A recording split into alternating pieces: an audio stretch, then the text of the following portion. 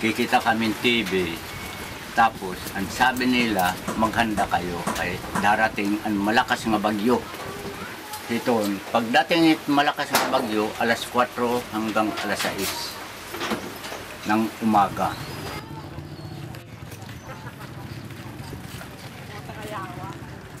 Umalis kami dito sa bahay ko alas 2 ng hating gabi. Tapos lumipat kami sa malaking bahay. Doon. Tinitingnan ko ang bahay ko doon sa malaking bahay. Wala na. Kami bahay. Wasak. Ayun, siya kay kukulabong ka.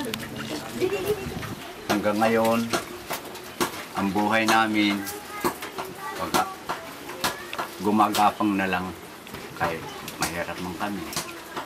Ang problema ko, itong pagtindog sa bahay,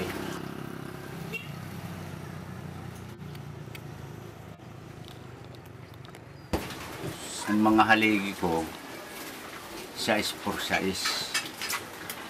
Halos di ko makaya. Pagkain, sa kami kukuha ang pagkain kundi kami rarasyonan. Ako nag-iinumala ako. Parang umala ako. Yun lang ang kinabubuhay namin, kami mag-asawa. Ngayon, nasira na kuhaan mga kamuting kahoy, wala na kami pagkain. Ministiblis. Pag ako sa kung mahirap ang daga, pangalawa na kami sa mahirap. Yung pan isang bahay, Mga studio ng ano sa studio.